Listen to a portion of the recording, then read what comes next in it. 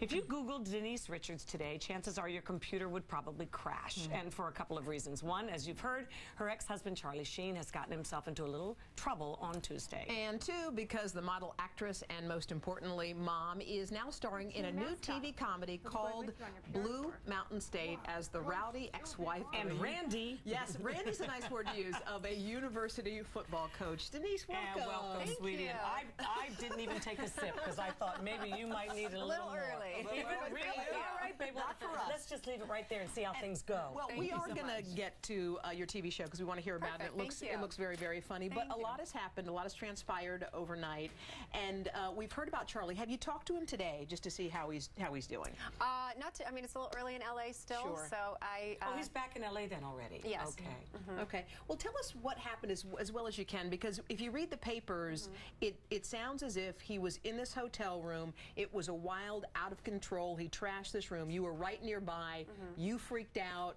started screaming, called police. They're saying you called 911. Yeah. Tell us papers. what. Tell us what Um, happened. The, the thing that I will say is I, I did not call, nine, I wasn't screaming or freaking out. I did not call 911. And other than that, the details of what went on in the room, what went on uh, that night, I prefer to keep private and personal. My daughters are very unaware of what happened and really trying to protect them. And, you know, this is Charlie. If he wants to discuss it, then I'll let him do it. But other than that, at the moment, right now, I don't want to say anything. Well, it must be bringing up terrible memories for you, too. This is the reason you left this marriage to begin with. Sure.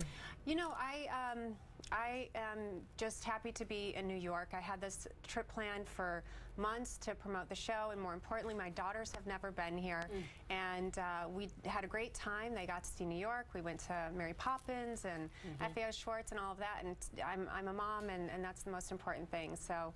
That's, uh, well, I understand why you're why you're hesitant, and you have to understand why we have to ask the you questions have a job, as well. I, you know? I understand. And, I mean, and not, again, not to go into the details, but are you disappointed? Because I know, again, we talk about patterns of behavior, and everyone mm -hmm. gets it.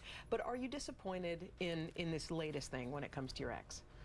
I um, have a lot of faith in my ex, and um, I am, con am, concerned about our, our children, sure. and my concern is to keep them protected, and thank God they're five and six, and they still cannot just turn on the computer or the television to watch the news, and that's where my priority is, is keeping them safe and secure and, and not know what went on. At the, they're at an age where, thank God, they can't really do figure that out and watch what's going on. Do they still get to see uh, Charlie a lot? How do you guys work that out? Uh, we came out here together. We, mm -hmm. Charlie and I and the girls flew out here together. He was with us when we saw Mary Poppins. He and I took them to the museum and shopping, so we we had a great time. The girls are unaware of anything, so as far as they know, they had a great time with their mom and dad in New York. And yeah, and it's it's easy to do that when your children are as young as yours are, mm -hmm. and it gets harder Definitely. and harder and harder once they know how to read. You can't right. even go in a grocery store. Absolutely. You know? Right. So, so that is going to be part of your future. Right now. yeah, right. Now tell us a little bit about. I know that you are traveling around and talking about your TV show. Yes. You do play a little. How would you describe this woman? She's sort well, of. She's very saucy. She's got a lot of different sides to her. Yeah. I was excited to get back doing scripted television, and and uh, I love the show. It's Spike's comedy. It's their second season, and I'm thrilled that I was brought on to this would season. You, would you call her a slut, Denise? well, you can call her whatever you want. She's she likes to have a good time. She's married would to middle my America call her a slut? I, they would call her whatever they want to call her. Yeah. I, she's a very fun, colorful character for me to play.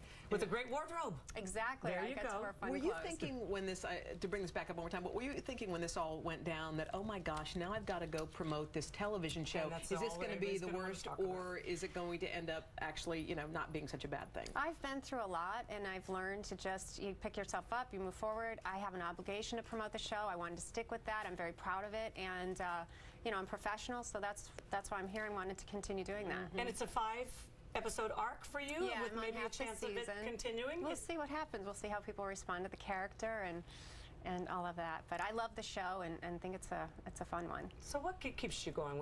Not just during times like this, although you certainly had your share of them. Where do you get your strength? Um, I think my girls. Mm -hmm. Yeah, I mean, when you're a mom, but stuff happened you know, before you had your girls too.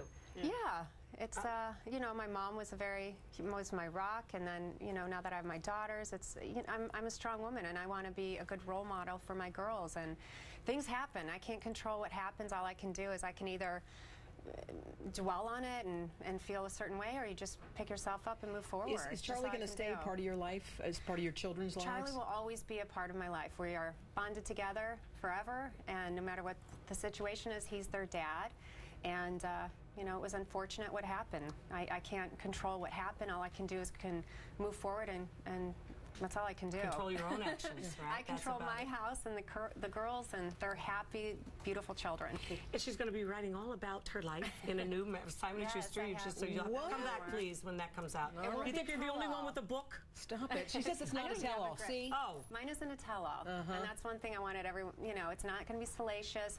I've been through a lot, and a lot of women and men ask me how I got through a difficult time, and I really think it's important to, you know, figure out what's important in your life, and you just going to take that high road. take the high road and move Good for you. We wish Thank you all the best. Good luck with the show, really okay? Thank we you so appreciate it. Again, it's Thank you on for it's me. on Spike TV. It's still to come, Olympic great Apolo Anton Ohno, excuse me, mm-hmm. and the nine teenage days that changed his life. What a story we've never heard of before. terrific, yeah. But first, these messages.